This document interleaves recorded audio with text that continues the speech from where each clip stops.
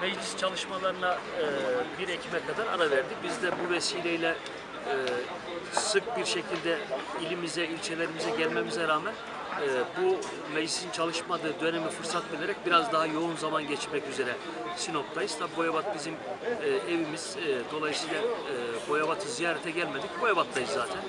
Öyle değerlendirmek lazım. Geçtiğimiz hafta e, meclisin çalışmamasını fırsat bilerek bakanlıklardaki işlerimizi, ilimizin yatırımlarını takip ettik. Bu hafta da inşallah bir hafta boyunca hemşehrilerimizle beraber olacağız. Bugün Boyabat'tayız. E, hafta içerisinde de diğer ilçelerimizde olacağız.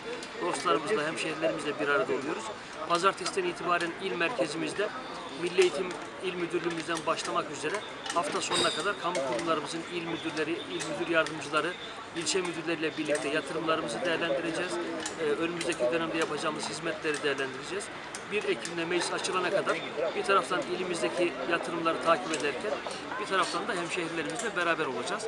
Ben bugünden e, mübarek Kurban Bayramı'nın bütün hemşehrilerimize e, hayırlı olmasını diliyorum. İnşallah Cenab-ı Hak tekrar bizi bayramlara kavuştursun. Gurbetten birçok hemşehrimiz gelecek, gelmeye de başladılar. Hükümetimiz 9 günlük bayram tatili ilan edince sanıyorum bu bayramda inşallah buralarda kalabalık geçecek. Şimdiden bayramlarını tebrik ediyorum hemşehrilerimize.